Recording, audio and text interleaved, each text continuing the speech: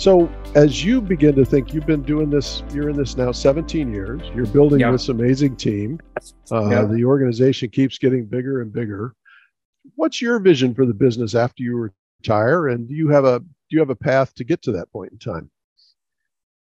Okay, so uh, I guess even after 17 years, I, I feel that uh, you know the digitization has just actually got started in, in a way, right? Um, COVID. Wow. From an insider, you think it's just really getting started. We're just really getting Yeah. there, huh?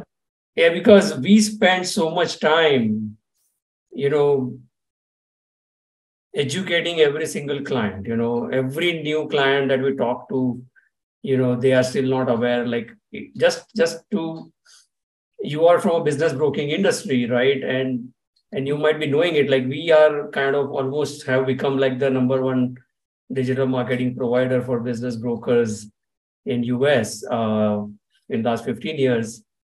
And i think i think not even one third of business brokers really do digital marketing. So so so just as a as one single business vertical right when we look at the small and medium businesses that there's there's still a lot to do.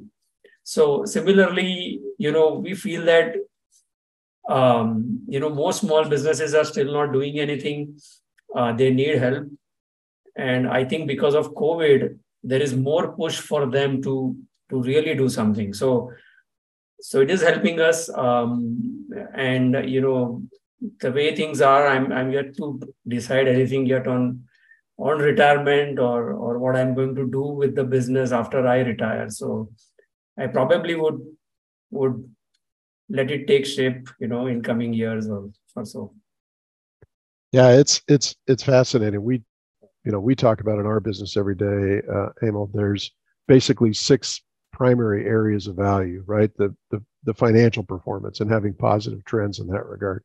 Clearly, Yeah. over 17 years, going from you know yourself to a team of more than 60 professionals and continuing to grow, you guys are you're on a good track there, right? And that that's Yeah. the second dynamic, growth and future potential. I just heard you say, you know, you think you think we're on the front end of that growth and future potential in the digital world. Yeah. Um, the business model, you know, you pivoted into your current business model, and that's that's created a pretty significant recurring revenue model for you. You you, I would imagine you have clients for a long period of time.